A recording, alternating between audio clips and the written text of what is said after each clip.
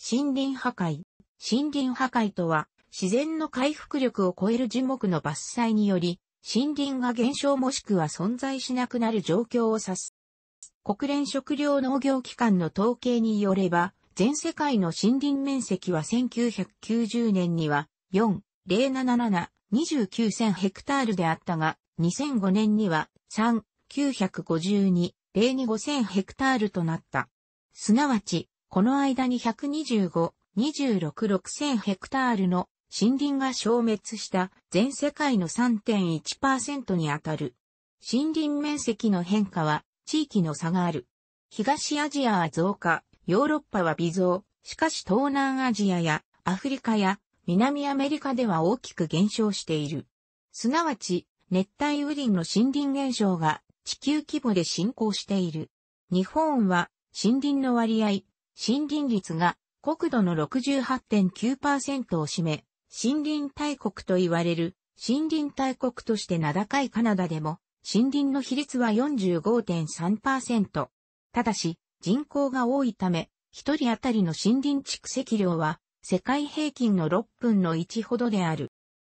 森林の保水力が失われる結果、土壌栄養分の流亡や洪水、土砂崩れを引き起こすことがある。水源寛容機能の低下。また、水質、大気浄化能力を低下させる。さらに、二酸化炭素の固定機能の低下の結果、地球温暖化につながると指摘される。生態学的な観点から見た場合、陸上生態系の基盤となる森林を失うことで、生態系自体の安定性を低下させ、森林で生きる動植物や昆虫の住処を奪うことになる。基本的かつ公共性の高い社会資本の喪失という側面もあるため、途上国における森林破壊は国際的な経済格差拡大の原因の一つともなっている。日本では戦後、高度経済成長に伴う木材需要に対応するため、大規模に天然林が伐採され、住宅の梁や柱、家具材などとして消費された。こうして伐採されたところに杉などが大量に植林がなされた。現在では安価な外材の輸入の増加とともに、国産木材が売れなくなったことと、林業就労者の収入減少が影響し、林業就労者の減少が起き、干ばつや間引きなどの手入れの行き届いていない不成績増林地が増加して、全国各地で問題になっている。手入れの行き届いていないところでは、木々が密集した状態で日光が十分に当たらなく、細い木ばかりになっている。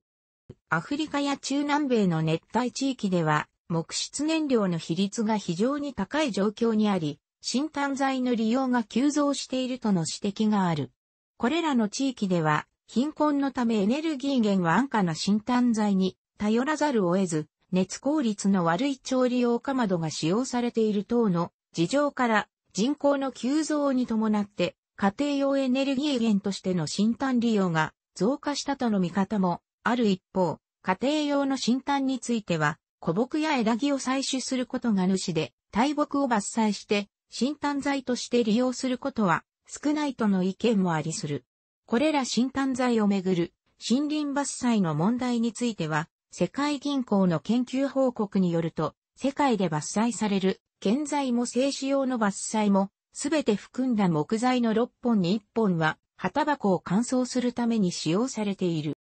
また、1998年には、世界公衆衛生協会連盟、ワフファの政策文書においても、森林破壊がタバコによる主要な害悪の一つとして掲げられており、FU、世界保健機関からも途上国でのタコ栽培と森林破壊についてのカラー図版が公開されている。なお、タバコの乾燥に使用される木の伐採の具体的な事例の一つとしては、タンザニアの森林破壊がある。道路の敷設に関しては、森林が分断化されることで、動物や昆虫などの移動が制限される、車に惹かれるなどの問題が起こっており、森林生態系への影響が懸念される。また、のり面の緑化には、外国からの生命力の強い植物の種子が用いられることが多く、在来植生を凌駕する場合がある。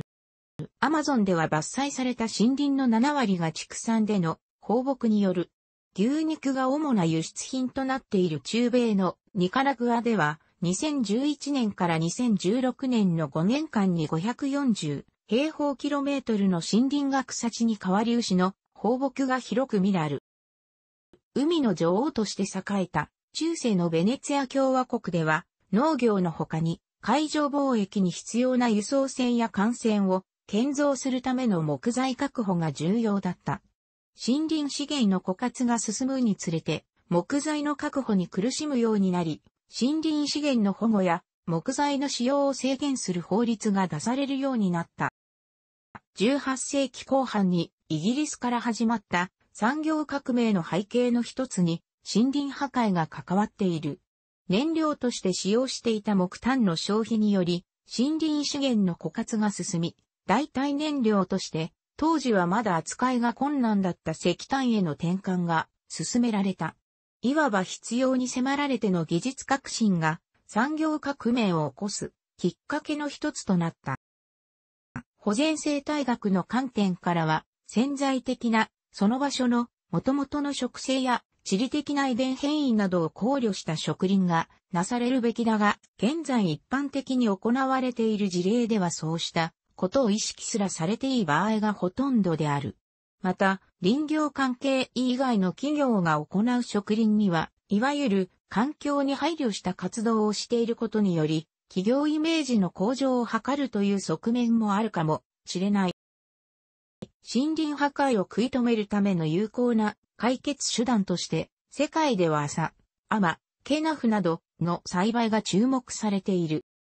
楽しくご覧になりましたら、購読と良いです。クリックしてください。